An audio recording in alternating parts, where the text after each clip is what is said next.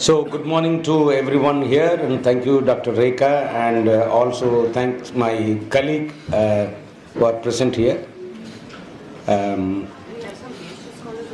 huh? Yes, yes, and there are some PhD scholars. Uh, welcome, everybody. Um, social work in India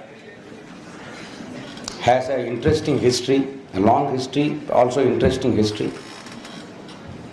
Now, the history we get to read, yes, as a history, but that does not mean that is the only history. That does not mean that is the only history that should be made part of social work history.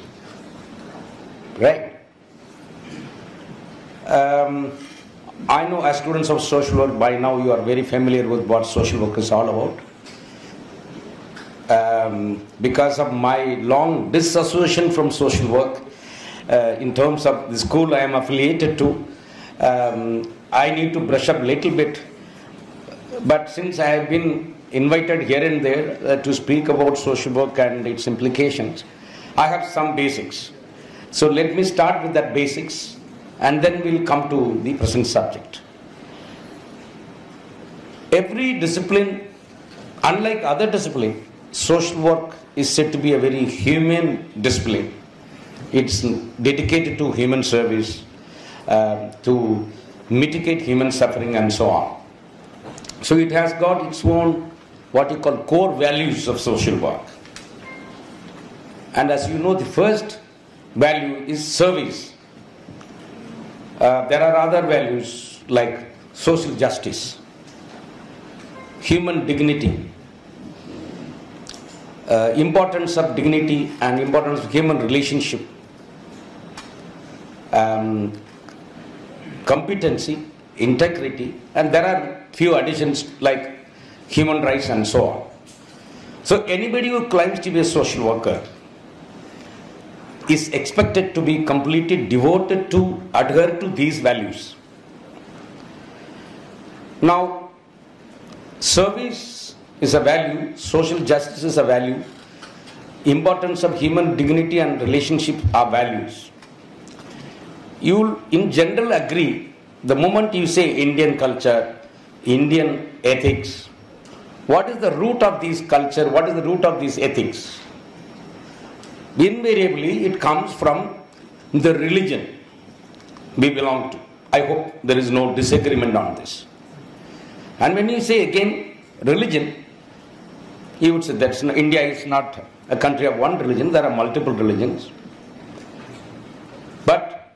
You name any religion in the world, you will find in India. Or probably you, you name any problem in the world, you will find in India. So that way we are a country of very uh, rich in every respect that probably any illness you think of, that also we have. And India is also is a country where you will find great personalities who whose service to this nation cannot be measured, measured actually. There, are, there are great individuals. Now, the moment he says social values, it comes primarily from the religion a vast majority of this country belong to, which means Hinduism, for example. Why I am saying vast majority, as per the census record, over 84%, over 84% of the Indian population is a Hindu populations. And you have around 11 to 12% is a Muslim populations and the rest is the other minority religion like Christians, Buddhism, Sikhism, Jainism, and so on. So that's how the overall 100% population in India. So, and if you look at the history of social work, those who wrote on social work uh, belonging to our own nations, they have taken inspiration from Hinduism. I have noted down here some of those things here but due to paucity of time, I'm not going to read out unless it is required. So now I also get to read these days that we need to, social workers in India need to go back to Indian roots. And the claim is that the social work is not rooted in Indian ethos, in Indian culture, Indian religions, because it has borrowed from America it has fallen from Europe, British, So it is not suitable to Indian reality. So we need to go back to our own roots. You have uh, some basic readings like A.R. Wadia, uh, and Philosophy of Social Work. It is a edited book. Uh, so many all top ranking social workers in the uh, uh, from 50s onwards have contributed articles in that book. It's an old book, but it's worth looking at it, all of you. Where it's clearly written that Hinduism is the basis of social work. And the social work, when you say the first value of social work is service, and it is linked to charity, and charity is linked to religion. It is not only Indian history, if you look at European history of social work or American history of social work, charity has been the beginning. And the charity is linked to religion. Um, so you cannot look at social work from ignoring religion. And we all, Indians by and large, we are all very religious people. Nothing wrong in it, absolutely, we need to be religious. Now, when we take up positions that we, knew, we need to go back to Indian roots, Indian core values, that should be made the social work core values. What comes to your mind? When you say the majority is a Hindu populations, so therefore the core values of social work should be rooted in the Hindu values and system. And if you ask further, what is the Hindu value and customs? And uh. Wadia clearly says that Indian social work is primarily a Gandhian social work. And when you say Gandhian social work, probably one is secularism, where integration of all religions. But then the fact that a vast majority, 80 above percent of population is a Hindu population, and our core values come from Hindu philosophy. And Hindu philosophy basically means, besides many other things, Varnashrama Dharma. Varnashrama Dharma is directly linked to what we call as caste system. The Varnashrama Dharma, the codification of Varnashrama Dharma, you will see from what is known as Manu's Code of Conduct, Manusmriti, which has codified what should be the behavior of people belonging to different Varnas. Right? What should be the behavior of when men towards the women? That, that has also been codified. What should be the status and power of different varnas. When you say varnas, Brahmin, Kshatriya, Vaishya, Shudras, and yet another category called Ati Shudras, and who are considered to be now the scheduled caste, whom Mahatma Gandhi called as Harijans, and they are also popularly known as Dalits, and so on. In, in, in scripture, if you look at, they are called Avarnas, mean people without Varna, people outside the Varna, and they are all called Panchamas, fifth Varnas. Each of these terms is political. When you say fifth Varna, Brahma created only four Varnas. First Varna, Brahmin, from the mouth of Brahma, Kshatriya from the arms of Brahma, Vaishya from the thighs of Brahma, and the Shudra from the feet of Brahma. Then what about, there are four Varna, now you are called Panchamas, fifth Varna. That fifth Varna is a, now the contemporary, current scheduled caste. Where did they come from? Brahma created only up to Shudra. Now this new category is called scheduled caste. Brahma did not create. How will you make them a Hindu? So you have no option. We have to come up with some new story. And the Manu's interpretation of it, they are illegitimate children born to Shudra men and Brahmin women. It's a new interpretations. Now when you say core values, that social work to take its core values from Hinduism and which, which primarily means Varnashrama Dharma. Now Varnashrama Dharma says Brahmin should not interact, Kshatriya, Kshatriya should not interact with Vaishya and Vaishya should not interact with the Shudra and Shudra should not interact with the so-called Ati Shudras. But if you come from the top, they can interact and they can do whatever they want with the Varna below. But if it cannot go the reverse, Ati Shudras cannot interact with the Shudra, Shudra should not interact with the Vaishya, Vaishya cannot with the Kshatriya, and Kshatriya cannot with the Brahmins. So this is how the code of conducts have been written. Now, can we make this as code of conduct, core values of social work. I'm asking this is the fundamental con. Can we make this conception as core values of social work? That is a fundamental question that comes to my mind. These six values which we have, which has an under, which has there is a consensus on this globally. If you if you look at the um, Council of Social Work in United States, which has a membership of over 2,500 social work institutions, they have agreed on these six core values that we say. We have also agreed. Probably that is the reason now today we are saying now we should go back to our own roots, our own religion, and we should have our values based on Hindu Varnashrama Dharma. But this Hindu Varnashrama Dharma means there should be no right to women. Constitution recognize right to women, but Hindu Varnashrama Dharma does not recognize. Now, between this constitution and the Varnashrama, what do we make, consider or accept as values of social work? Is there a contradiction there? The constitution says liberty, equality, fraternity. Everybody should have equal right on liberty, equality, fraternity. But if you go by the Varnashrama Dharma, it is not everybody. Everybody does not have that right. Between these two conception, which one we will accept? Right? Or the another, another major uh, tenet of uh, uh, Hinduism, what you call other ashramas, that you have a, every Hindu must pass through these four stages. Uh, Grahastha asrama, meaning it is a period of learning. Every child must be uh, uh, going to a um, Gurukul system and spend his first 25 years at the feet of a guru and learn everything. Then from 25 to say up to 50 years, he has to lead his family life, get married, rear children, and so on. And after 50 to say 70, you give up from family life. From 70 onwards, you become a sannyasi. Now, this sounds very nice, every Hindu.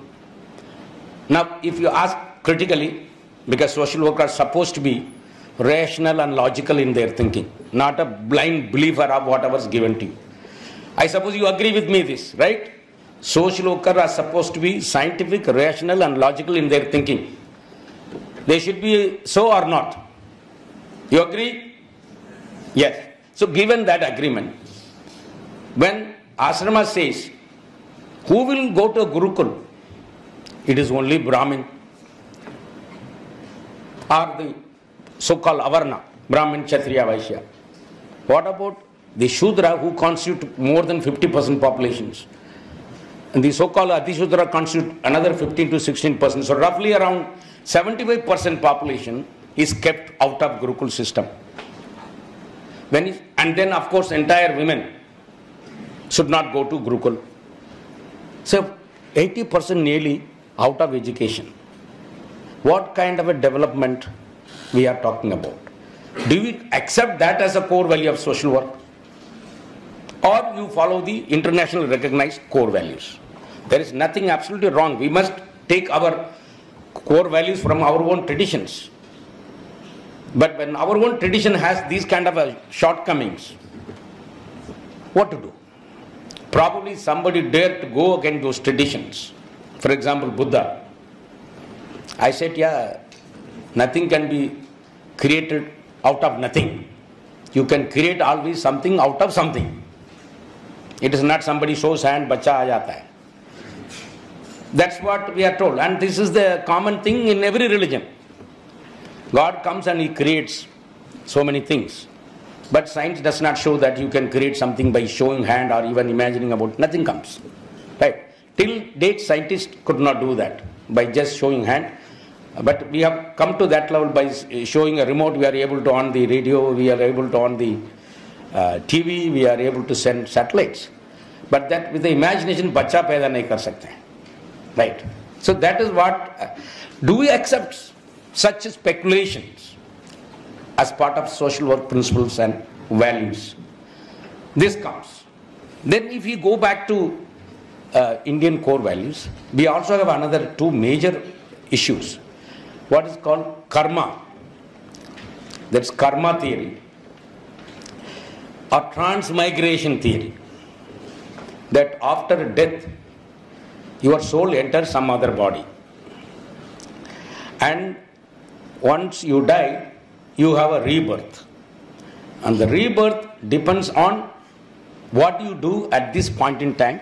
Your current karma, what you do today, will determine what kind of person you will become after death. So, you have any idea of what will happen after death? Or are you worried what will happen after my death? Are you are worried about what will happen next class?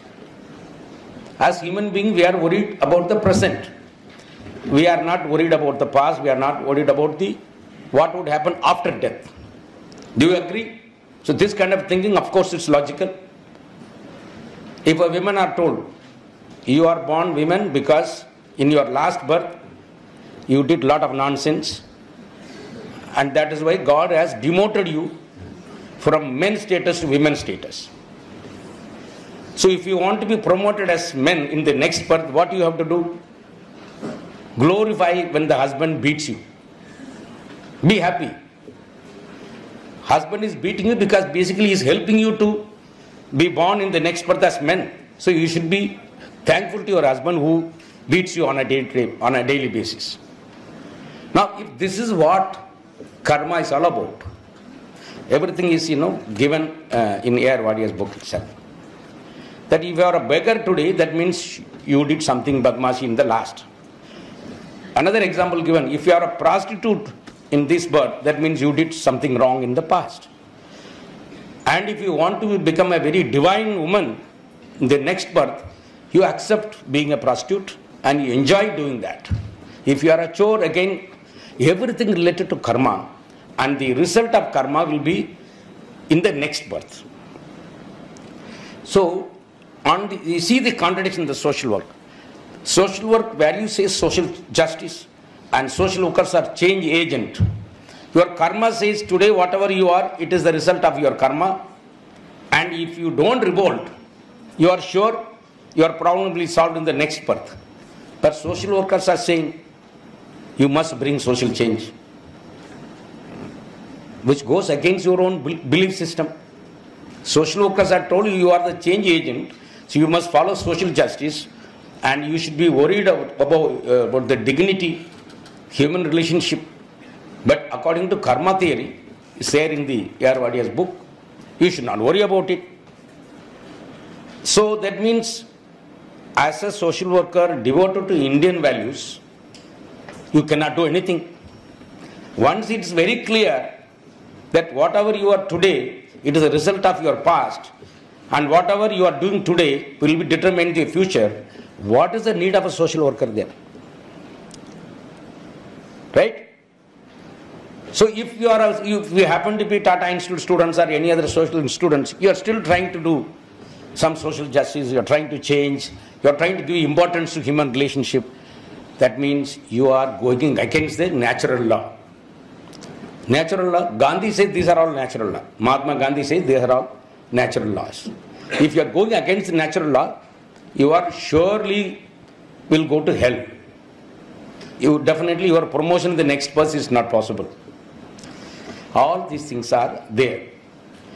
Now, in such a conception of what should be social, what should be the root of social work, where will you draw your social work values from? What is the way out?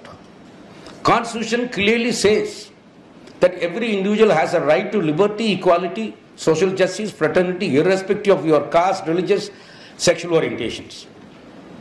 But if you go by Hindu values, your class is your own within your own caste. You can't think of going across your own caste. You have to do everything within. And Gandhi give a very nice interpretation. Caste is nothing but extension of your own family system. What do you do in family, you have everything is within the family. You, you don't go beyond that. Caste is also like that only. Ambedkar calls caste as an uh, open class. Sorry, caste is an enclosed class and class is an open caste. Meaning, class, in class difference you have only two categories, rich and poor, maybe the middle class. But the poor can become a middle class, and middle can, class can become a rich. But within the caste structures, once you are a born a Brahmin, you remain a Bra- Brahmin, you die a Brahmin. There can be no possibility of shifting from the caste you are born with. There is no, no change. Similarly, once you are born as so-called Dalit, you remain a Dalit, you die as a Dalit. There can be no possibility of change. So you have a one option where it gives an option for every individual to come up in life. You have within the caste structure you are condemned. So far we have since independence we have followed the preamble of the constitution and whatever guarantee the constitution gives and we have followed that willy-nilly with a lot of hesitations, unwillingness. We have implemented a lot of provisions uh, enshrined in the constitutions and probably both men and women, boys and girls are sitting here. Probably if we had followed our religious roots, I am sure there may be no girl sitting here in this hall. All men, boys would be sitting here. So between two options, what do you want to take it up? So this is a big question before the entire social professions. Whether you should be dedicated to your value system rooted in your religion or you should be dedicated to value system which are universally accepted. And we have followed that path so far. The upward mobility that we have achieved as women, as scheduled castes, as Shudras, this has been possible because we have taken our core values of social work from an universal understanding of what justice, what social justice, what is right and wrong. What is see many things that in our if we take on the religious roots, the religion defines what is virtues and vices in its in its own um, uh, parameters that vary across religion. The tragedy here, which religion you follow? What is considered the right in one religion need not be in another religion considered as the right. Right to education in one religion supposed to be given to one particular section. But if you go to another religion, right to education should be open to everybody. And in India we have both the type of religions. Which religion to follow? Buddhism also, because we define that Christianity and Islam are not Indic religions, whereas Hinduism, its earlier name I would say Brahmanism, Sikhism, they are called Indic religions. Buddhism is also Indic religions, but Sikhism and Buddhism challenged what Brahmanism advocated. But these, these are all Indian religions. Where will you get your core values from? You'll, you'll take your core values from Buddhism, you take your core value from Sikhism, or you take it from uh, Brahmanism, now called Hinduism. So there is a contradiction there. Buddhism negates whatever given in the Brahmanism. Sikhism negates whatever given in the Brahmanisms. So is the case with the Christianity and Islam. Sorry. So we are stuck there. Then it may amount to this is the social workers completely Brahmin dominated profession. It has it will become. So that is why life, whether you are an Indian or a European or American, all of us have problems. If I went to Columbia, after going there in the Columbia University, there also one fellow singing, "Oh, nobody is loving me. So I thought it's only Indian problem. There America also the same problem. Boys in desperate condition singing song. So as human being we are the same. Wherever you go, some basic nature are very common. Now somebody says only women should have no right. And that is what the religion codifies. And you have to take this thing from that religion can be very dangerous. It will take us back, backward in the history. I like to read few things. It may sound that I am portraying Gandhi in a wrong thing, but this is what a vast majority seems to be following till date. And uh, and Gandhi is not an ordinary person. Uh, he is a father of nation. Um, with regard to caste system, which is in my opinion the core symbol of Hinduism, so many people have written, if not Hindu caste system, can you define Hinduism without caste system? Nothing. And uh, our, our uh, dedication to caste values, determination to protect caste structures is so much. We even go to the extent of killing our own children if they eloped with the person of an, another caste. Right? So many killings. You have a, there, even, even Tamil Nadu, there are districts where these intercaste marriages uh, are, uh, you know, they end up getting killed. Haryana and many other states are also known for it. Uh, Gandhi once said, I believe caste has saved Hinduism from disintegration. And Ambedkar said, caste has to be annihilated. And, and Mahatma Gandhi says, caste system has protected Hinduism. Between these two conceptions, which will you, where will you go? Both are reformer, both are revolutionary, both fought for these nations. Gandhi took his inspiration from religion, whereas Ambedkar took his inspiration from, of course, from religion, but that's called Buddhism. Buddhism and Brahmanism, they are opposite to each other in every respect. But some of us follow Gandhian line, some of us follow Ambedkar line. But ultimately, we have to live together. Living together because both are Indian citizens and there is a social contract is necessary. Contract is necessary between these two set of people and that is why the constitution is there. Now suddenly if I say no, no, can't throw the constitution, I will go by this logic. At stage will come, we will kill each other. And the so-called nation that we are imagining will disintegrate and we will end up nowhere. So, Gandhi, but like every other institutions, it has suffered from um, uh. I consider the four uh, divisions alone to be the fundamental. Four divisions mean Brahman, Kshatriya, Vaishya, Shudra, natural and they are essential. The innumerable subcastes are sometimes a convenience, often, but often hindrances. The sooner there is fusion, the better it is. The thousands of sub that we are divided into today, they should be fusion, come together into that earlier four varnas. Now, if you have to say they have to come together, where will the, the so-called Dalits will go? Because they were never part of the four varna, they are separated. They will go into the Brahmin varna, or they will go to Kshatriya varna, they will go to Vaishya varna, or they will go to Shudra. Where they will go? Either everybody will say, no, don't come here. So they will remain an independent religion. That was also the demand of Ambedkar. On one of my uh, correspondents suggests that we should abolish caste but adopt the class system of Europe, meaning thereby, I suppose, that the idea of heredity in caste should be rejected. Caste means heredity.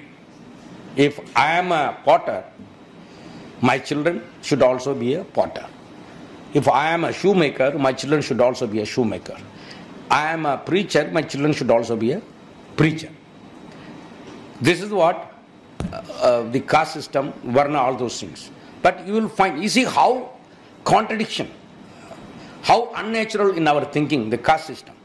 You will find in our own families when there are three children, four children, two children, each child is a unique child.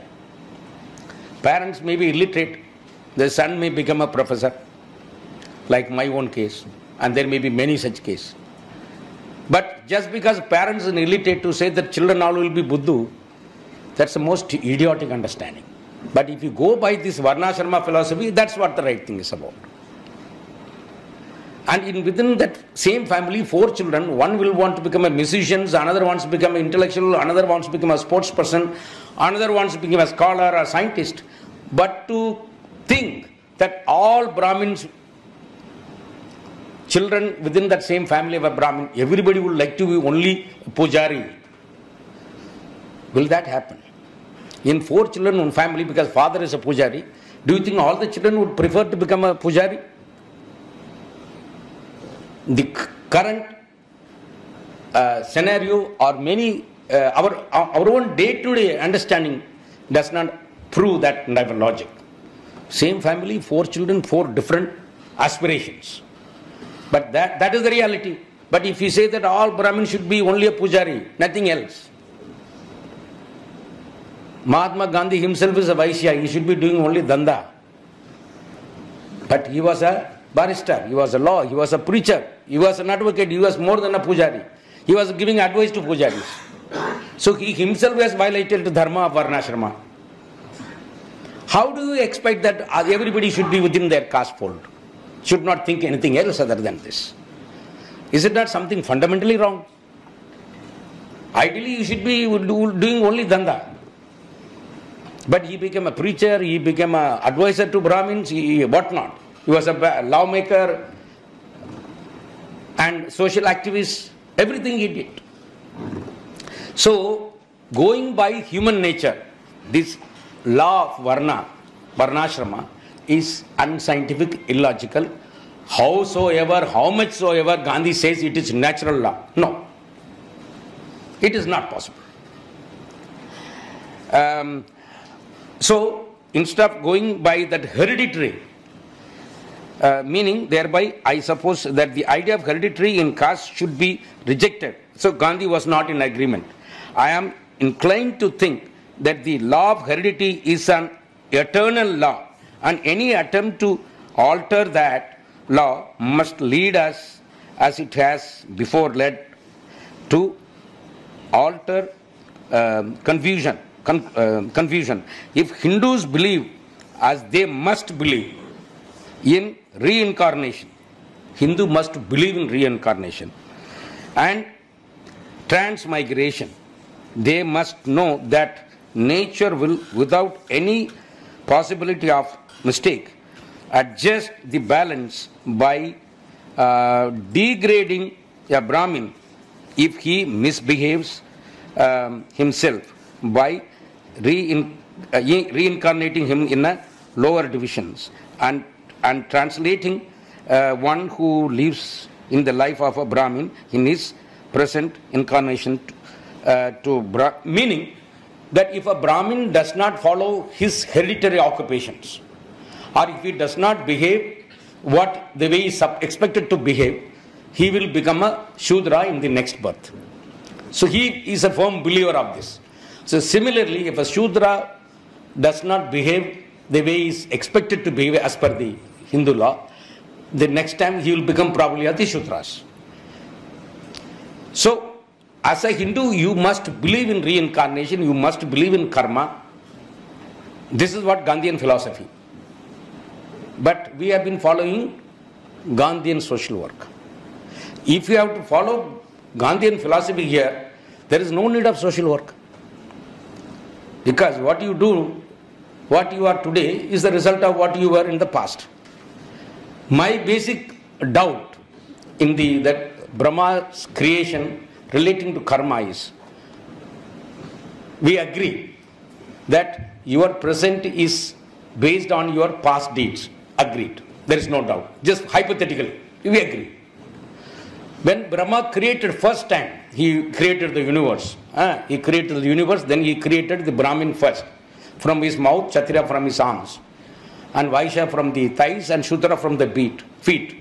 First time when you are creating, what is the basis on which you consider some as superior and some as inferior? The next year, you can do evaluation, uh, you can look at the performance of those Brahmin, Kshatriya, Vaishya, and then you decide whom to promote, whom to demote. But you are creating for the first time. On what basis you created somebody superior and what basis created somebody inferior? There is fundamentally wrong, fundamentally wrong with that very conception. Do you agree with this? When Brahma has already created somebody superior and somebody inferior, what social workers have any right to even think differently? If you are a true Hindu, then you shut your mouth. You are not expected to do any social work. If you know, no, I will do social work, I will promote Sudras, I will promote the rights of women, that means you are an anti Hindu.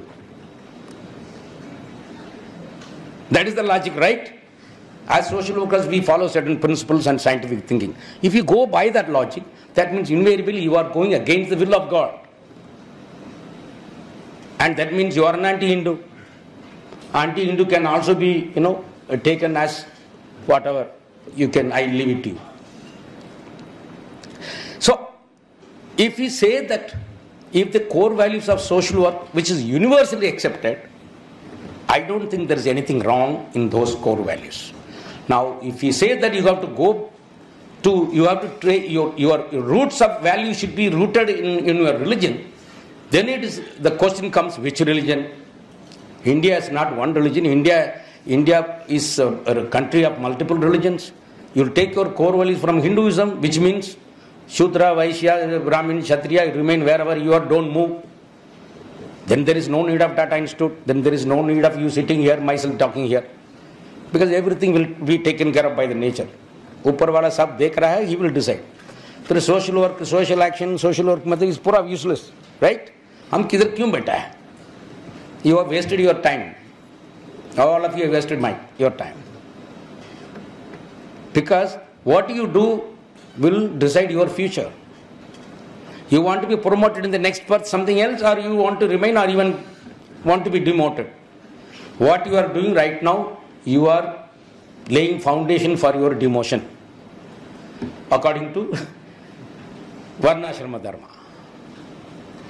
And if you want to be promoted especially i'm talk, i'm concerned about the girl students sitting here. You want to be promoted as boys next birth you should not be sitting here perhaps you go back and do your kitchen work and if any men beat you we say very nice that's what it says. But social work principle says, these principles we are following at, at, this point in time, it says the importance of human relationship, the im- importance of human dignity. You are, you are supposed to follow that.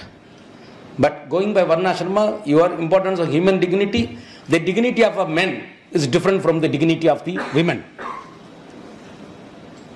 Then what is where, the, where will go the social work? They are fundamentally very seriously wrong with such an understanding, and that is why at least universalization of certain values would help by and large for the promotion of everybody. But your basis of what considered core values, if it is rooted in local norms, when I say local norms, for example, caste is a local norms, because that decides differently then there is a danger of the subjugation being perpetuated. All these years it will continue to be perpetuated. Individual liberty is a universal core values. Now in the Varnashrama there is no individual. It is only a collective, a group, a collective consciousness. It's not an entity. So again you will find there is a um, argument between Gandhi and Ambedkar Gandhi says, You are nobody, you are an element within the society, so you should not ask for anything for yourself. You are here to protect the structure, existing structure. So within that, you are a small element. So don't claim for any individual right. Don't claim for any individual right. Your right is based on the collective uh, entity. So that is why it is always used in a systemic theory. In a system, every part is important, but that every part should play only that role. Every part in a system should play. If that part tries to play some other role, the system will collapse. So, similarly, Indian society, human society, or Hindu society, there is a role allocated to everybody. There is a role to women, there is a role to men, there is a role to children. They have to do only that job as a woman, in the interest of the society, in the interest of the family, you never think of going to college. Never think of going for a college education. Don't, education is not required. Because if the family has to be protected, somebody should be at home to cook, look after children. So that you have so much time, so you, you remain at home. There is no need of education for you. So education is required for people who have to bring money. So men will go to college, they will go and study, they will get job, they will bring money. Your only job is to satisfy the men, rear children and cook. If you don't do that, if you try to do what the men, men are supposed to do, then this system, family as a unit, will collapse. There is a law and order problem will happen. So that is called the systemic theory. Every part in the system has a specific role. That role only that particular part should play. Don't change that role. But social work says every individual is unique. You see the problem. Every psychology says, Freud says, every individual is unique. And Aristotle says every individual has the capacity to acquire knowledge. Aristotle says every species has a capacity to acquire knowledge. But Varnashrama says no, only men have capacity to acquire knowledge, women keep quiet. What do you want to follow? So I think um, I have, uh, uh, what is the time, uh, Professor Riga? 12.30. Um, so maybe we'll take few questions, then I will come again.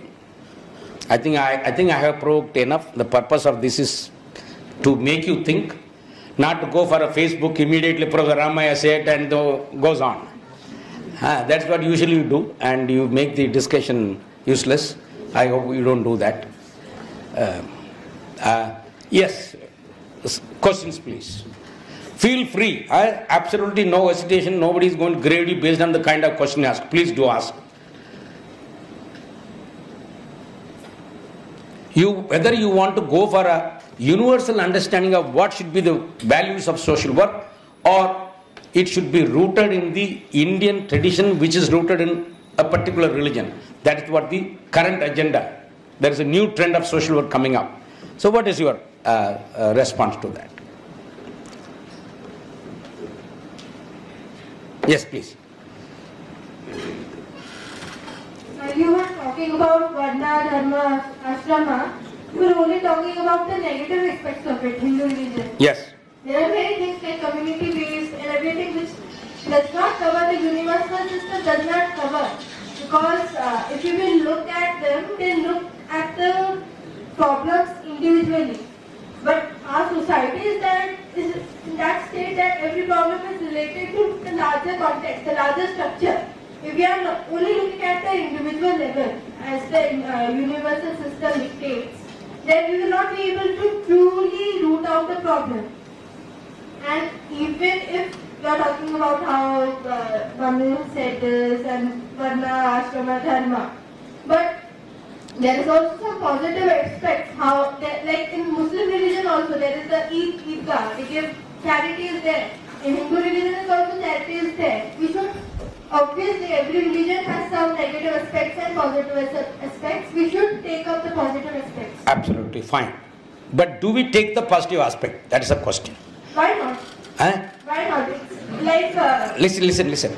I fully agree with you. If you take the positive aspect, there may not be many incidents of rape and murder, right? Inside the religious places. If you, as you, you are different. You may be very progressive. I may be very progressive. But the larger society, larger reality shows something else. People commit atrocities. People practice untouchability. Yes, to uh, address that untouchability, we have to address that problem. And that is rooted in Hindu religion. If we are not looking, if we have to convince, like if we have to convince someone of uh, to make positive change, like for especially for a Hindu group, Yeah. then we have to talk them in their language. If you are talking something in Western philosophy, they will not be able to understand. Okay, in their language means uh, you, you, And what their what their beliefs are. Yeah, yeah. Suppose if somebody beats me, I'll beat him. That, that is their language. yeah, what is that? What is their language? If somebody rapes me, I'll rape them. What is their language means? Language means what are the belief systems, the positive beliefs in their religion. religion, right? If they are Nobody, for, nobody, see, you listen, there is some concept like Vasudhaiva Kutumbakam, right? You are familiar, right?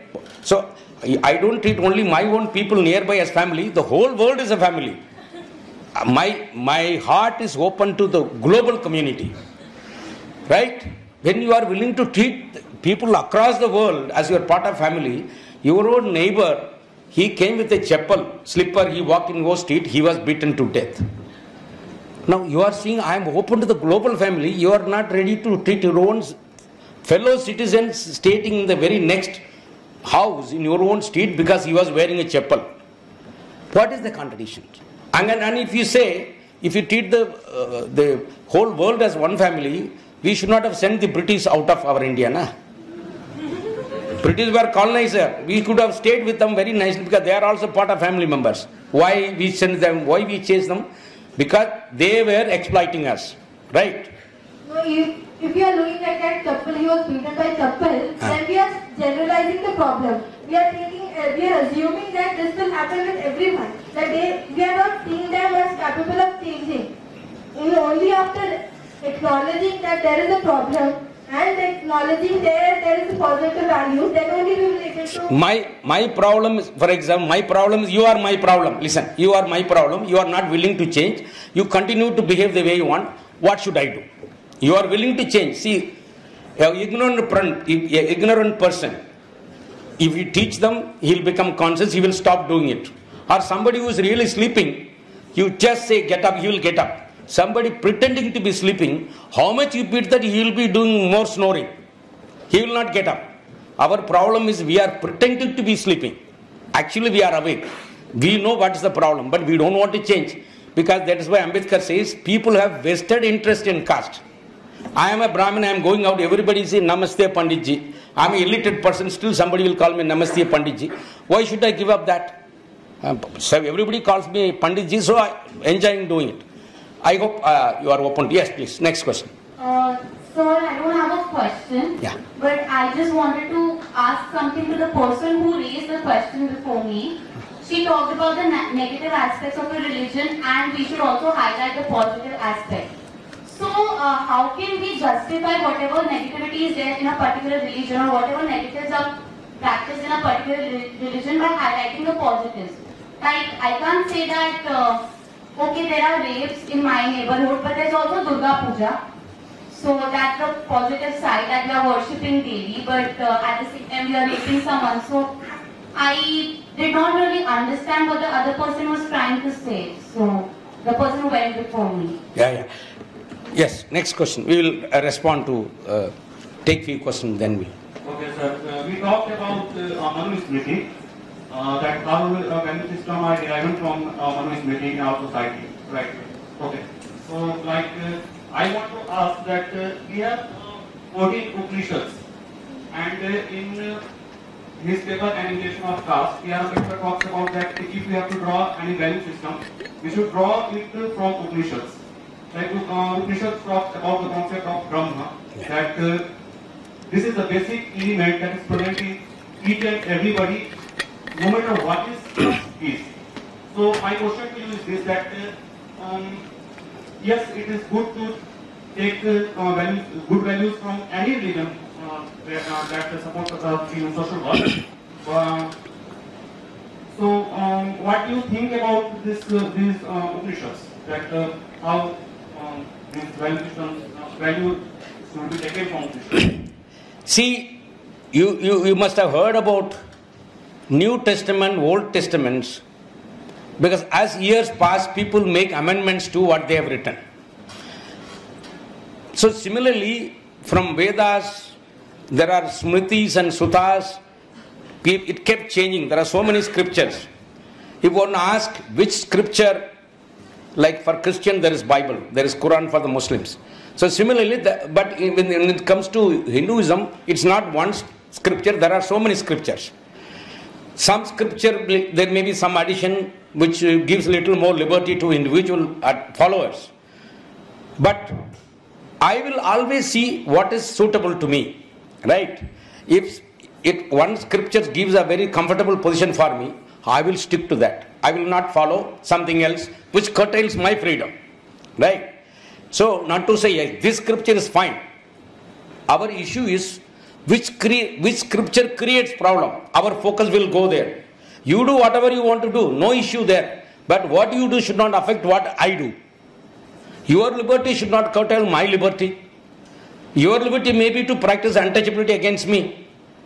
If that is your liberty, then definitely I will work against that kind of liberty. Right? You also live, let live others.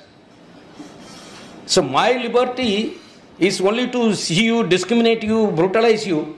Then how long will you wait? Every time when you come out, I will make fun. You, you, you will find simply surprised some of the behavior.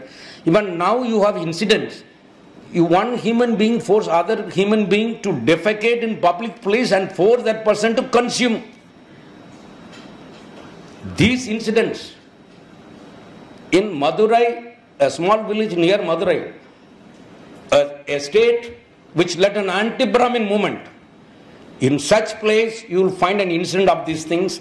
A scheduled caste fellow was forced to defecate and forced to eat that. Now, if you say, no, no, you see the positive things, you ignore negative, what, how will you ignore negatives? You may have hundred things. You may be having nice vegetarian biryani, this and that. If you put one poison in that, then your vegetarian biryani is gone. Hey, no, no, no, no, you, you ignore only one drop poison. No. So I will then the person who is suffering, he will wait for a moment. He will ask you to do the same thing again. So we cannot, as a society, we can't live in that kind of a logic, right? Right? Everybody wants to live. In anyway, whatever status you are, we are all going to die one day, right? We are all Gandhi died, Ambedkar died. All religious gurus have died. Everybody is going to die. Before death, why do you indulge in all these things? Beating somebody, brutalizing somebody, raping somebody. There is something wrong with our mind. Instead of correcting our mind, I am mentally sick. I have become see in within the caste structure, nobody can be normal. We are all suffering from some kind of a mental illness. It's a, I would say it is a software problem. Somebody getting out of the house in the morning, somebody comes, he runs back into the home and locks the door. That person thinks that day is going to be bad for him. Is it not a mental illness? I am stepping out of my house, somebody else is coming before me, and you think that my day is going to be bad, I will go back. Is it not something wrong with our own very understanding? Now, instead of saying, no, no, no, why, you are, why do you come out when I, when I am out? You should be inside the house. You bring out law, you bring out rules and regulations, start beating the person. That is what the, uh, the challenge is. Do we promote such ideas as part of the social work values? My idea, at the individual level, we both fight. But do you promote that idea as a best idea to the globe? After all, every individual is a microcosm of this very universe, right? So every life has its own time. Every individual has a desire and ambitions to come up in life. How can somebody else decide, no, no, you can aspire to become only this, not this? That's very, very, very, very regressive thinking, in my opinion. Whether you exercise through Hinduism or exercise through Islam or Christianity, the thinking is regressive, in my opinion. And as a social worker, we are supposed to be dedicated to bring change or uh, at least curb human suffering to whatever way possible, to whatever extent possible. That's what's so. Otherwise, you can remain as, as somebody else, as an activist who see that, that there is untouchability is intact. You can do as an activist. But as a social worker, we shouldn't be doing this. That's the point I'm saying. As an individual, one can do whatever you want to do. As, a, as an individual, I can be a corrupt person. As an individual, I can be an MLA or an MP or a teacher. Whatever I want, I can be. But it cannot become an ethos for social work. That's the point I'm saying.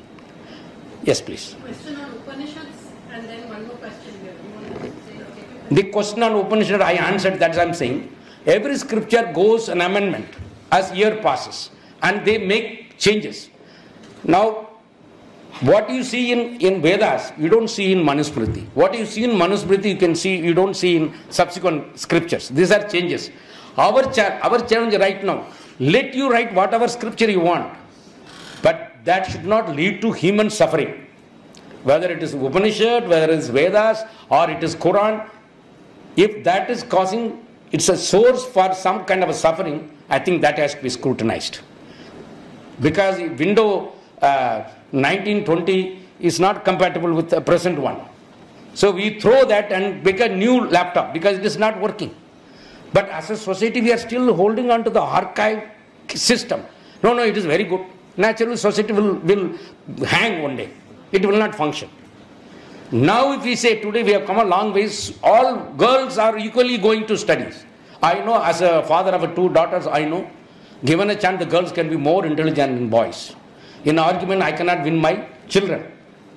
Who said that women are idiots and men are intelligent? This is fundamentally wrong with our very idea. Yes, please. Uh, so my question is, uh, sir about the universal universal values of social work. Yeah, But uh, most of the time when we refer to the universal value of social work, yeah, it may be concentrated on particular area, Yeah. especially pointing out West or European thoughts and philosophy. But that thoughts and philosophies uh, may not able to understand and interpret certain situations happen in India because the custom and culture followed in India is very different.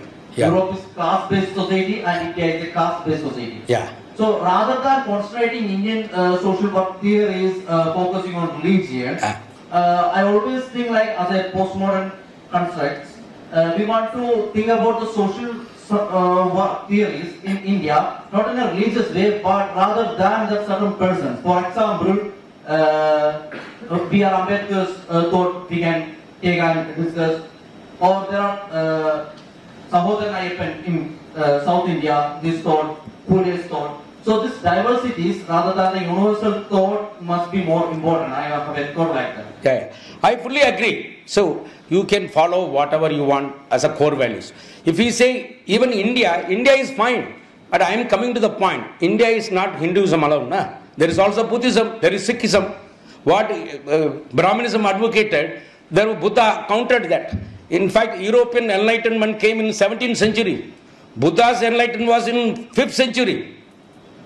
We are not following that. We are not following. Buddha said there is no God, there is no soul. Do we follow that? Rather we follow, we follow not one God, we are following 1000 gods. So to say that I am saying that we are all taking from Europe, no. I am, I am saying, I fully agree with you. I am not saying that you have to continue with what Americans have given. You, you follow what India was given. No? India has also given birth to Buddha and his ideas. In fact, much of that, those five values is rooted in Buddhism. Why do you say we have taken from America, you have taken from British? Why do you say that? Liberty, equality, fraternity is something fundamental to Buddhism. There are people who call it has come from French Revolution. No. Ambedkar himself has written that my liber- my conception of the society is rooted in liberty and equality, fraternity, which I have taken from my Lord Buddha, not from America. So to say that if we don't follow Brahminic ideas, that means we are taking from America. It is it's very narrow, very very narrow understanding of our understanding what social work basis of social work. Why not? Okay, you take taken from something Brahminism you want to take. Why not? What about Buddhism? But it's not American based. It is Buddha's. It's our own. Fifth century, my dear. America and Europe came in 17th, 18th century. As early as 5th century, Buddha revolted against Brahmanism. What do you want to, why can't you take from there? To say the idea of liberty, equality is all from Europe and America, it is, it's a politics behind it. I hope I answered your question. Yes, please. Sir, uh, you said that uh, like uh, uh, Manu Vedas, Manusmriti and Upanishads are aligned. They like they have evolved, right? So, but Upanishads talk, uh, Manusmriti talks about casteism. Upanishads right away reject casteism. Yeah. They don't uh, like uh, they interpret Brahman, Brahman Yeah. in a very different Yeah. light. Yeah. Like one who is who walks like a god. Yeah. He is Brahman by virtue of his deeds. Is not Brahman by his virtue of his birth. Yeah. So, uh, I would like argue that Upanishads are more aligned with Buddhism Yeah. than with Manusmriti. Yeah. So, um, I agree with you. My dear, I agree, agree with you on that. I think, but people do not follow that. Nah? Now, today, Brahmin is not the state of Brahmin is not based on his credential which Upanishad talks about. I, I am a Brahmin, my son immediately become a Brahmin.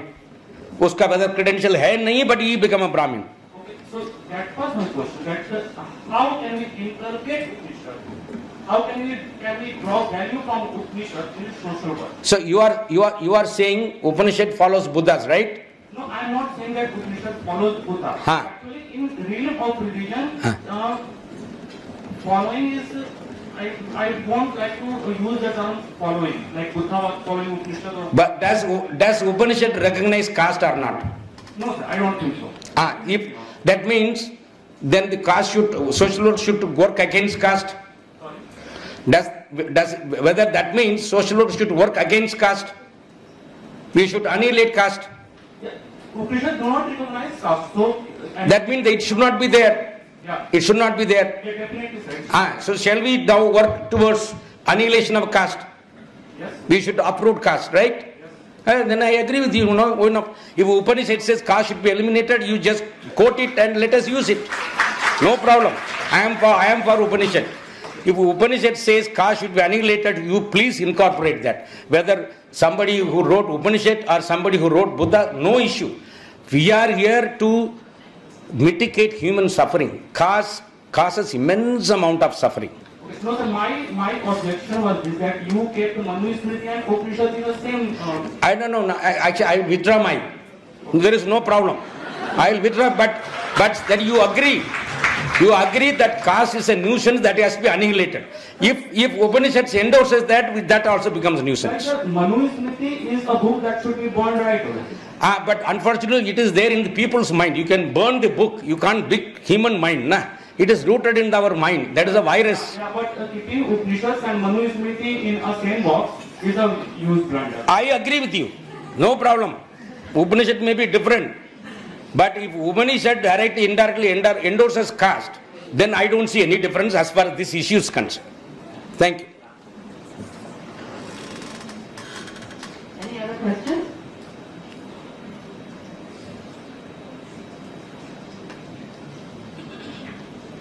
So what do we then sum up social work?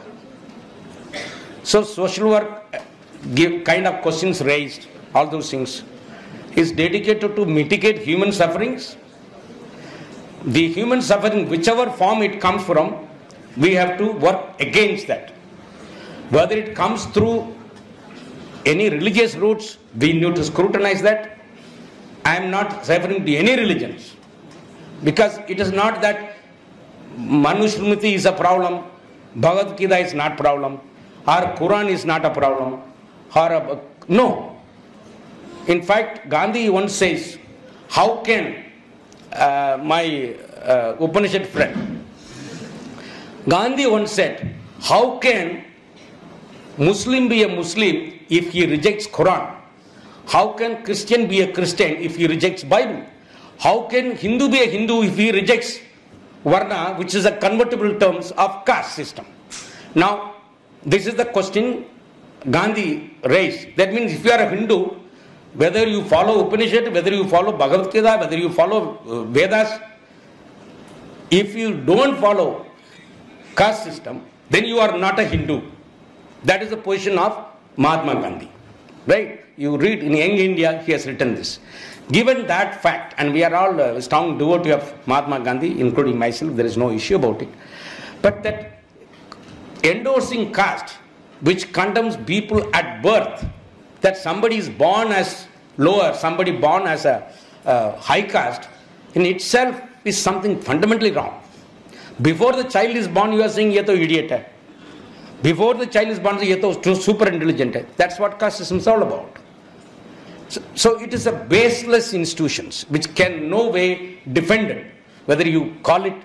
uh, see, uh, that is why every institution, ev- religious institutions, goes through an amendment of its religious text.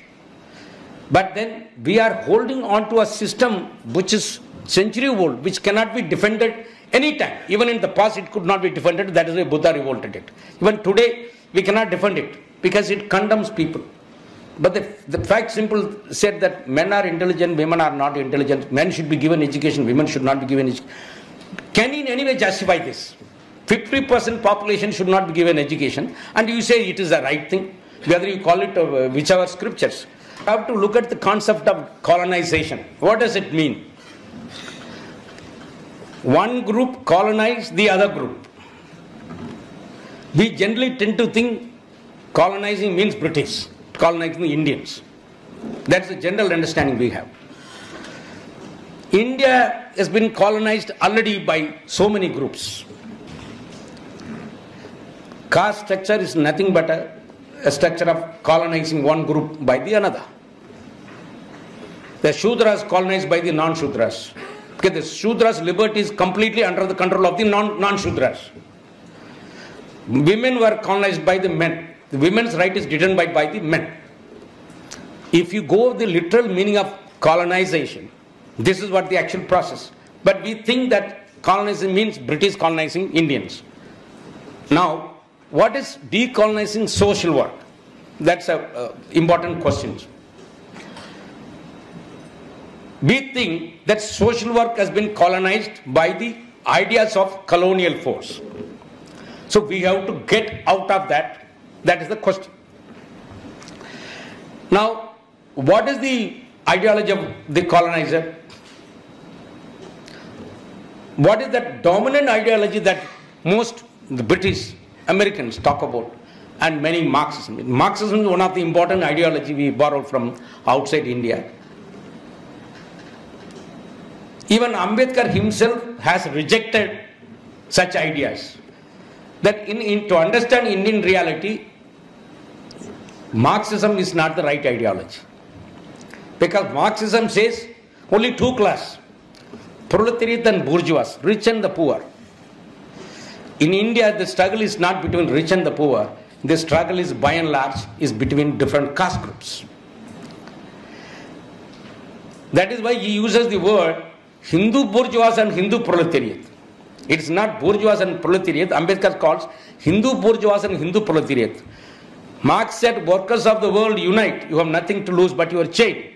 And Ambedkar says, if the same slogan, if you can raise in India, workers of the world may unite, but workers of the Indians will not unite because the Indian workers are not workers in, uh, you know, as a one category. Brahmin workers, Kshatriya workers, Vaishya workers, Shudra workers, and Shudra workers. Workers of Shudras will come together, but they will not come together with workers of the Ati Shudras or Adalis. Workers of the Brahmin will come together, but they will not come together with the workers of the Shudras. So the workers remain divided on caste lines. Now, when you say decolonizing social work, the moment you take social work, what is the ideology we use in social work? So, any ideology that comes from outside India, we should throw this ideology and then evolve our own ideology. In, in simple terms, that's what I would say decolonizing social work because social work in India is under the control of the colonial ideologies. So we have to throw those ideologies. And if we have to go clearly, what are those ideologies? Any ideology which is different from Hindu ideologies, we can say they are the colonial ideologies or non-Indian ideologies. There could be many ideologies. But then why do we say that, for example, India, the tribal communities, they have their own way of living. There is absolute democracy, liberty within the, the tribal culture. Now, when you impose what is generally understood as the way of living together, some way that is going to sabotage the unique culture the tribal communities in India we have. So we don't want that colonial way of thinking.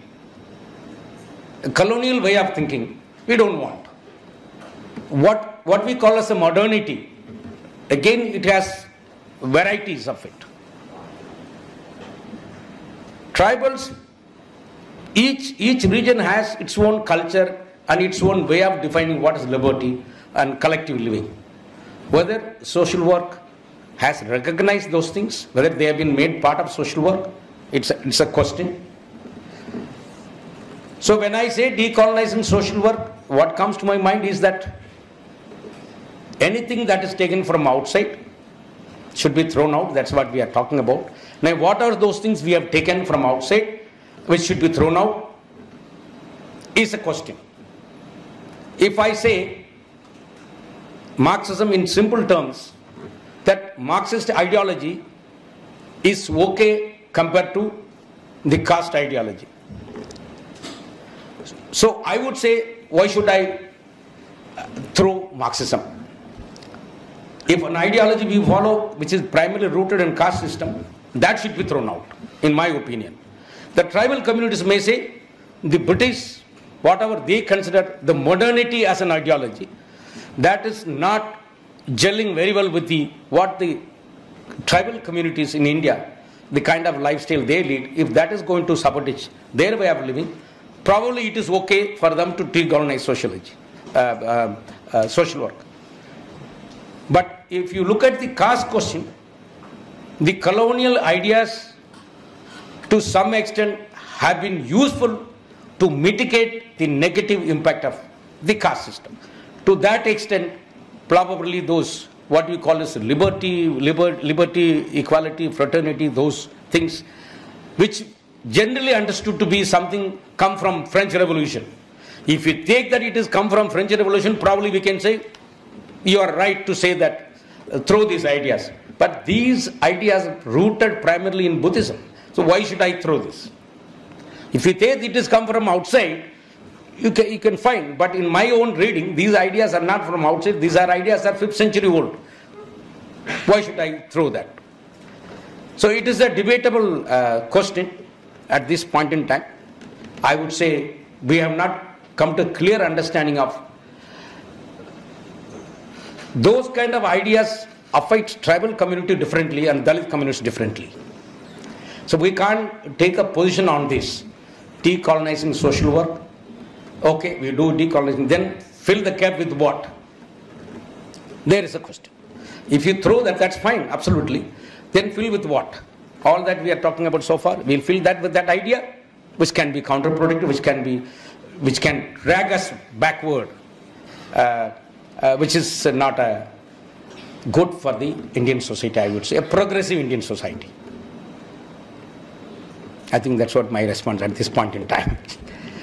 yes. Filling it with a Dalit perspective. then what would- See, that, is why I'm saying there is nothing called Dalit. I, I will not say, although we have a specialization, if you ask me a personal thing, to say that it is Dalit perspective, to say it is women perspective, again it's a very narrow way of looking at it. It is a human perspective, it is a human perspective. Dalit perspective means, huh, this has come from there. Naturally, I will develop enmity towards that. This is Dalit perspective. Baba, this is a perspective every, everyone should follow. If you say it is a Brahmin perspective, then it has, if, you say that this is one perspective, this is a dominant perspective, which is rooted in caste and religion, so then I have no option but to bring, okay, here I am giving you Dalit perspective, here I am giving you feminist perspective. So, to give an identity to a perspective becomes, in the longer run, become counterproductive. So, if you ask me, you, it is a perspective, I, again I don't want as a perspective from below. If you say perspective from below, that means you are acknowledging that structure. There is a, there is a perspective above, there is a perspective below, and then again also that become a counterproductive. It is a perspective, probably say, which which will lead to liberty, equality of everybody. So I, I really don't want to bracket it as a Dalit perspective. Probably you can say liberal perspective, or it's a human perspective. Because otherwise Dalit perspective means there is enmity. Because if say, huh, this is a perspective of one group, it will go against the perspective of another group. That in the longer run, then we'll be remain, will remain divided. That should not be there. We have aimed for Vasudhaiva Kutumbakam. Now you are saying Dalit perspective and Brahmin perspective. No, so that can be a problem. It, it, but it is a this is a debate uh, is uh, ever in the move. Uh, I think we need to uh, work towards it. We have to. We have not come. I am. At least I would say I have not come to a point. We have resolved the issue. No.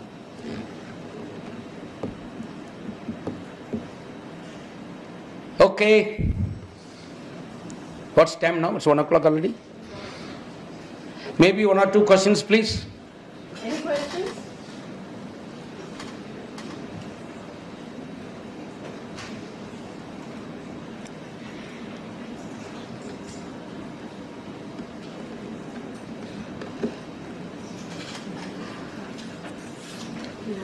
Students from Myanmar. Ah.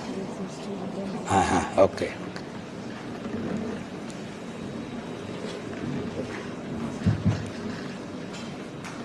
In the past, I was very appreciated to be Buddhist. I have that Buddhism is derived from the idea. We believe on the we follow the expression of Buddha. Buddha, uh, uh, especially. That is true. Uh, Theravada Buddhist, Buddhism and Mahayana Buddhism in our countries. That's a, I'm, I will run through, through my question. Is Buddhism is the part of Hinduism? And then I mean Buddhism is divided from India to our country. But now in that situation a low population and Buddhism population in India. When we look at the history of history in India, uh, their population, Buddhism population grow with in India is a small, small. When we compare the Hinduism population grow with Muslim population grow with in India. This is one question. Another question is, the third, second question is, what will happen in the Buddhist society, Muslim society, when the lower, when the lower class of the caste system is trying to trying to transfer another society for a purpose of free to change the caste system. And then another one is, in the third question is, what will happen in the caste system when when all the all the lower lower or lower class of the caste system, the left or changed to the, the another another religion like like this Christian, Buddhism, and Muslims like this. Because of theirs, they have also their responsibility and task and between the caste system. Who will take their job, their task in the caste system?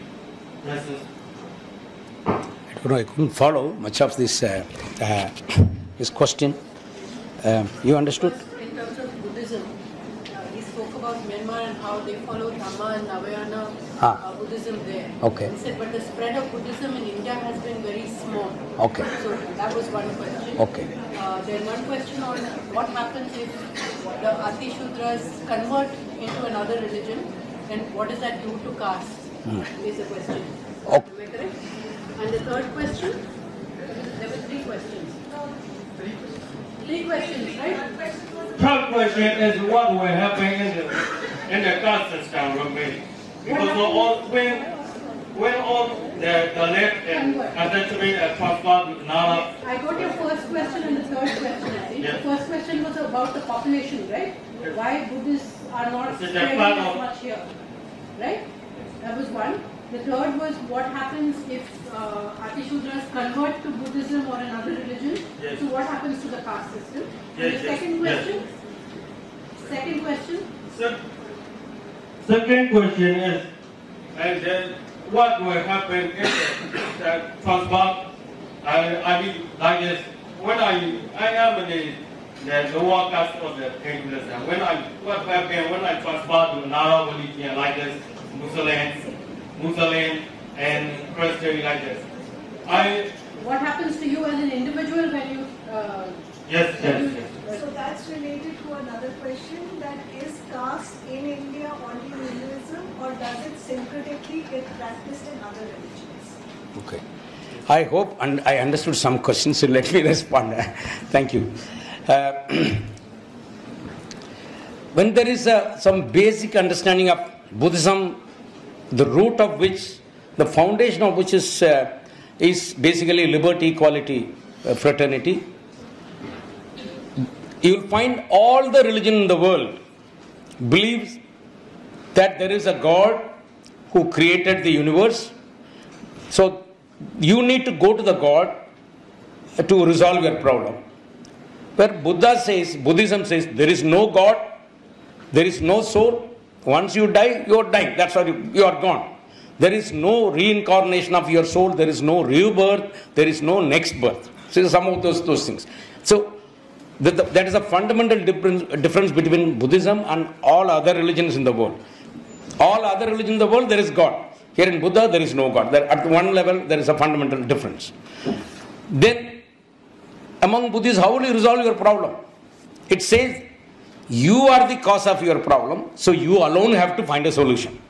There is no miracle that happened that, that by going to uh, God and maybe giving some offerings, like uh, in we have breaking coconuts or lighting candles and what. No, that's not the way you are going to solve your problem because you are the part of the problem. You create the problem, so you solve your problem. So suffering is universal. So nobody can live a life without suffering. Suffering is universal.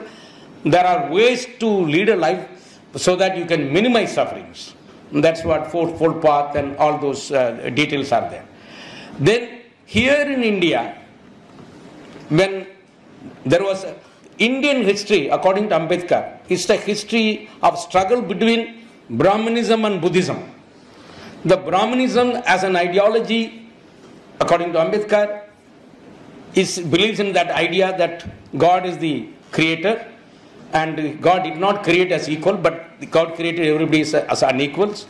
Uh, there is a hierarchy and there are roles defined, you can't deviate from that role. But if you go into Buddhist line, that that is not the conception that everybody is equal, everybody is equal right. What you achieve is based on probably your efforts and uh, what you do um, at this point in time. Um, so that, that is at one level there is a difference between. In so there was a struggle between Buddha, Brahmanism and Buddhism. Brahmanism overpowered Buddhism, so Buddhism were completely eliminated. So many Buddhists, uh, probably say evangelists, were brutalized. And you have a lot of history talking about it, how those, those who were into spreading Buddhism were brutalized. There is a history behind all those things. But then Ambedkar coming and revitalizing that, reviving that traditions, and when he said, as long as I remain a Hindu, I will be either a upper caste or a lower caste, I can never become a human being. So I was born a Hindu, which was not in my hand, but I will not die as a Hindu. He chose to, with all other religions, he embraced Buddhism because that is the only religion according to him. A religion that cannot stand the test of science is no religion. A religion that cannot test the uh, uh, stand with the test of science is no religion. And according to Ambedkar, that Buddhism can stand all the test of science. So it is purely science. So I am I am willing to uh, move to Buddhism. He, since he was a popular person, a popular leader, along with him, everybody who faced suffering because of caste system followed him. Again, it, those who followed him by and large belong to the very caste he belonged to. But now you will find the Buddhist population is slowly increasing as education spreads. People understand rationality science. Educate, the Buddhists are increasing in number. But then Buddhism took root in other religions, so other countries have con- taken over, and the Buddhist population is there. And which are the countries you know uh, uh, better? Then what is that third question? Ah, if a, if a so-called the low caste convert to other religion, the- all, the- all of them leave Buddhism, uh, Hinduism, caste system and become a Buddhist, what will happen to the caste system? The caste system will collapse. If the caste system collapse, it's a big bolt to the Hinduism. And that is why there is a big fight not to allow Indians to convert to Buddhism. The, on the, the dominant, the Hindu leadership is trying its best not to let people convert from Hinduism to any other religion. The Shilkas are also converting to Islam, they are also converting to Christianity, they are also converting to Buddhism in large number. So uh, there, are, there are special laws that you should not convert. There are laws against conversion. That's also going on. But if all the Hindus converted to non-Hindu religion, then the Hindu population will come down drastically, and that is why uh, it has its own political, uh, religious implications. So there is an opposition to conversion, especially. Uh, what is the other question? What is the experience of the individual who converts Okay, now what is the very important? What is the experience of individuals converted to Christianity or Islam or Buddhism?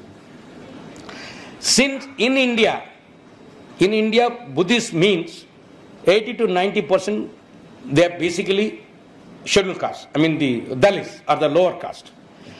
Academics started recognizing them beside the common people. They started calling them as neo Buddhist. They are Buddhist, but they are neo Buddhist. That very identity as a neo Buddhist gives them they are basically scheduled caste. They are low caste. So you will find many people after after conversion also facing caste discriminations. So the neo Buddhists have not become a Buddhist, although they have embraced. The large society does not recognize them as Buddhist. They still treat them as a scheduled caste, and they also face untouchability. But definitely, it has changed their mindset. Nobody can now say, no, no, all this karma theory does not work anymore with them. They don't follow all those things. You will find even in Maharashtra, this particular state, you will find that the one single community, Mahar community, which converted along with the, uh, Dr. Ambedkar, in terms of their educational economic achievement, no other scheduled caste could reach that level. So it is definitely a positive move, and their thinking is very rational and scientific. They don't bother whether you recognize me as scheduled or whatever doesn't matter. I'll keep going. So their state of mind, if you say state of mind, they're very progressive and they don't suffer the extent those scheduled castes who still remain in Hindu fold. They don't suffer that much untouchability because they also know why what's happening and they also challenge, they also counter, they also use existing law. It is a dichotomy. It is a dichotomy. Even after conversion, they do face problems. Um, but their situation is relatively better than others who are not converted. That's what I would say. Yes. Question about reservation. Who gets reservation after conversion? Now, earlier, the Constitution of India has recognized certain special benefits for the protection of the so-called low caste who are constitutionally recognized scheduled caste. They have certain special constitutional provisions. Number one, there are special laws. For example, Prevention of Untouchability Act, Protection of Civil Rights Act. Earlier it was known as Civil Rights Act, then it became 1975. Then the uh, uh, the SC, the Scheduled Castes and Scheduled Tribes Prevention of Atrocities Act. There are two special laws. One law is against practice of untouchability. Yet another law, which was passed in 1989, is a law against crimes committed against the scheduled caste. So they, they can make use of these two laws for their own protections. And in addition, their members can contest election. Certain constituencies have been reserved for them to contest elections. So they become MLAs and MPs and raise their voice in, uh, in major decision-making bodies like uh, even at the lower level, municipal level, panchayat levels, assembly level and parliament level. So there are constitutional provision. And then there is also provision under Article uh, 15, 16, 46, um, certain percentage of uh, seats in academic institutions reserved for this community. For the scheduled caste, 15%, for the scheduled tribe, it's 7.5% uh, Uh, admissions are reserved for these communities. And similarly, even for employment, the same percentage. The percentage is fixed on the basis of their populations. It is reserved for them. It has been working since 1950. But initially, it was given only for those who remain in Hindu fold. In 1950, it was recognized only for those scheduled castes who remain in Hindu fold. Then certain communities in Sikhism, like Majbi Sikhs and there are a few other uh, caste groups within Sikhism, they fought. So they were also recognized for certain special benefits because this reservation has a connection in what we known as the Presidential Order 1950. So they amend. You know, interestingly, in India, who is a Hindu, who is a Christian, who is a Muslim? Who is a Muslim, who is a Christian, that, that they, they have a different definition. Who is a Hindu? The definition you should understand, very interesting definition. Anybody who is not a Christian, who is not a Muslim, is a Hindu. So it does not say those who, like in Christianity, those who follow Bible, or in Islam, those who follow Quran, there are clear things. But in case of Hinduism, it has been defined, anybody who is not a Christian, who is not a, a Muslim, is a Hindu. So in 19, after uh, when the Sikh community revolted, protested, then they amended the 1950 presidential order stating that anybody who is not a Christian, who is not a Muslim, who is not a Sikh, sorry, Sikhism was also included. Then in 1989, Buddhists were also brought under the uh, scheduled caste. So they are a Buddhist, but still these community uh, enjoy these reservation benefits. Even after conversion, although they have converted to religion which does not recognize caste, the fact that they, even after conversion, suffer from untouchability and caste discrimination, they also made part of the list of castes for special benefits. So, conversion, right now, if anybody convert to Islam, anybody convert to Christianity, they become ineligible for reservations. Uh, There are two questions, one here and Yeah, please.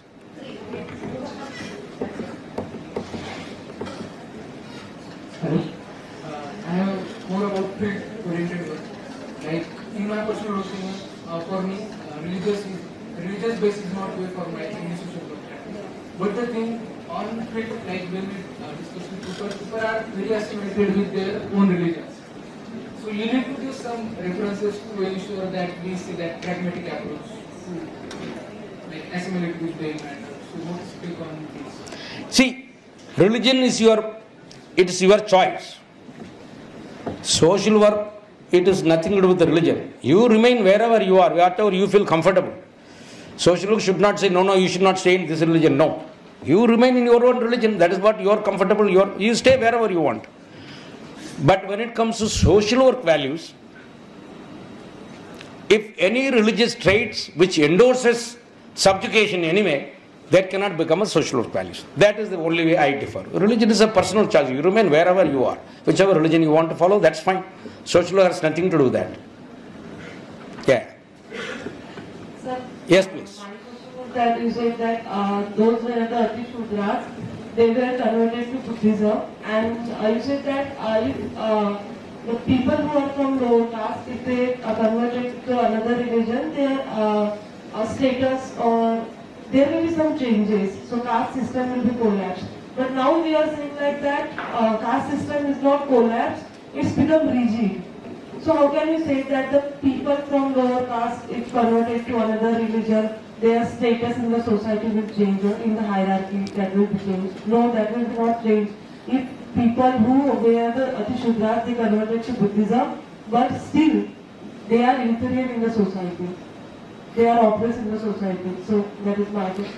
See, we are looking at it in a relative term. Compared to earl- earlier position, what you are today. So there is some, so first forget about what others recognize or not. As an individual who convert to other religion, it gives so much of a pride and confidence. Whether you recognize that they are not doesn't matter. As a person, like Ambedkar said, I was a born a Hindu, I will not die as a Hindu. And after conversion, it's a, it's a liberative mindset. So I, you, you, you don't recognize me, it doesn't matter. Because your mind is stuck to one particular regressive thinking.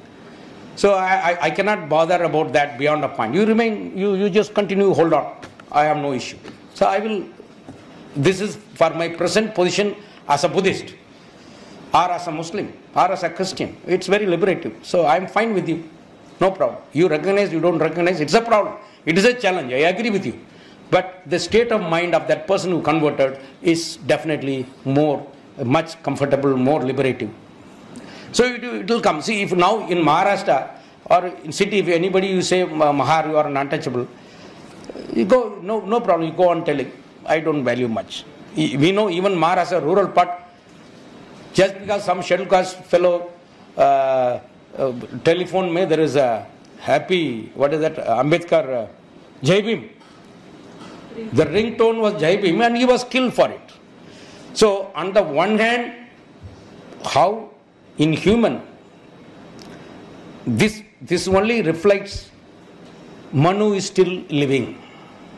Whether we call it as he said, whether it is Upanishad or Bhagavad Gita. What is who is very strong in the mindset is still Manu.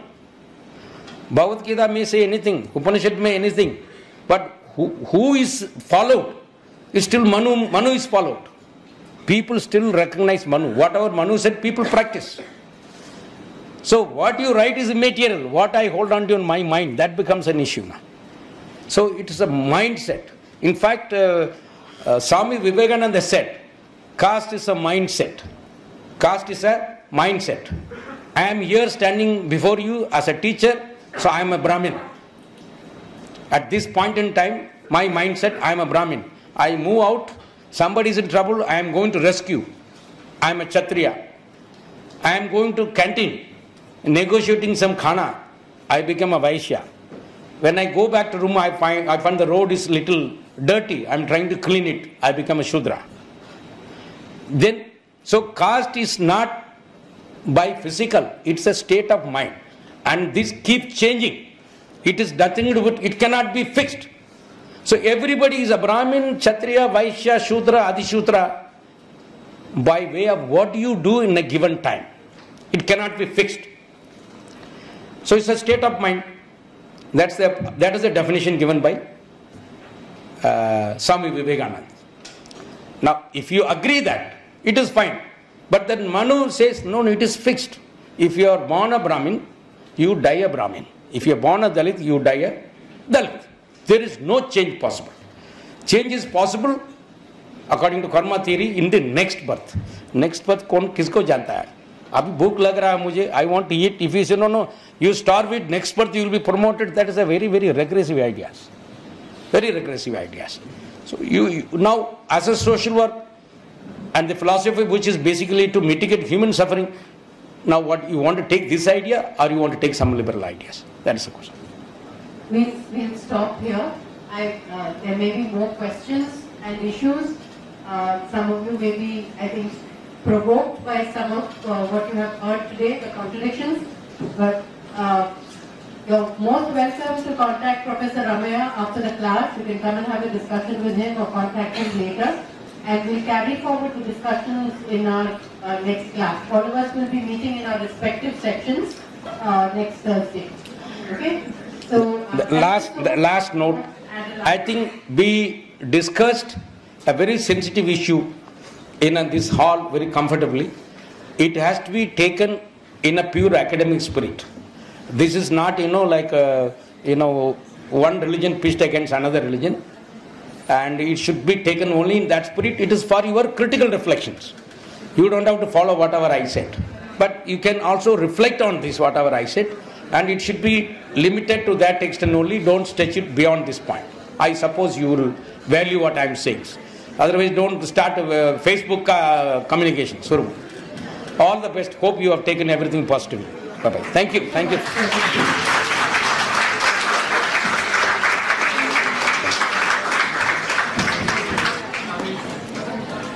Thank you.